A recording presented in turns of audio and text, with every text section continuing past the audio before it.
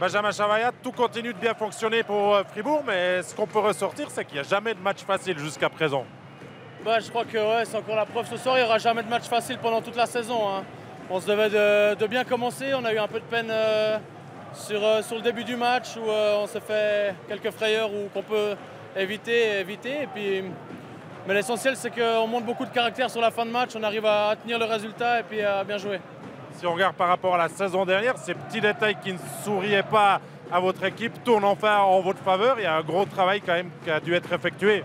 Il y a un gros travail, euh, chacun, chaque individualité a fait un gros travail sur, euh, sur lui-même, je pense, pendant l'été.